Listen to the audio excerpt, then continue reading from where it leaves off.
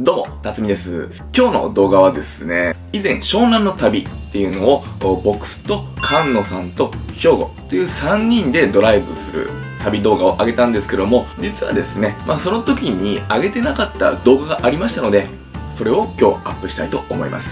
まあ内容というのはですね、兵庫っていう男が集合時間に遅刻したんですよ。ただ、以前の YouTube のアップの時には、遅刻のことに一切触れずに進んでいってるんです。実は、遅刻した兵庫にドッキリを仕掛けた、という動画でございます。それでは皆さん、ご覧ください。どうぞ。2分ほど遅れましたいや、そうですね。2分ぐらい遅れましたね。あれもう一人のゆうきさんは？もう一人、ゆうきさん来るはずなんですけど、一応、LINE の方、こちらご覧ください。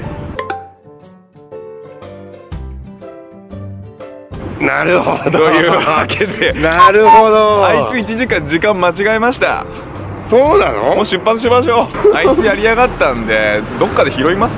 そうですねふざけろですね。ちょっといろいろ対策をあいつちょっと運転させましょうよ。いやダメですそれはあ、でも無免許僕らがあれなんでそうでしたね。はいそれはダメですもうひとまず車動かしますか？動かしますはい。というわけで、はいまだ私たち2人しかおりません。あらはい。本当だ2人しかいない YouTube の方で上げた動画には、我々3人が普通に行ったっていうことになってるんですけども、実はあいつがもう遅刻しておりまして、それを2人で待っている状況です。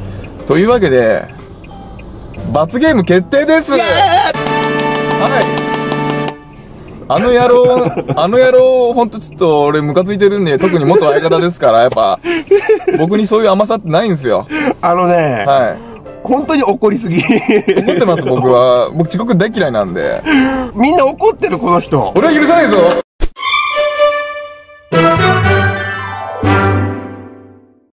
お楽しみにほんとすいませんでした。いいえ。いいえ。いいえいいえ。すいません、本当に。いいえ。本当にすいませんでした。やっぱり、この、まあ、遅刻するっていうのは誰しもがあることで、それはいいんだけど、なんつうの、別に、時間間違ってなくても、結局遅刻してるっていう。確かに。やっぱ遅刻してるっていう現実ですよね。今日もともと何時集合だった7時50分です。ね？今何時？今9時10分です。10分。1時間見誤見誤っても8時50分。はい。からの20分。ずっと怒ってんだこの人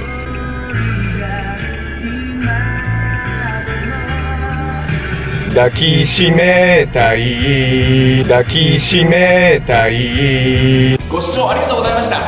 面白かったら高評価のボタンを押してください。TwitterFacebook もやってるので皆さんよかったら YouTube の方もチャンネル登録お願いします。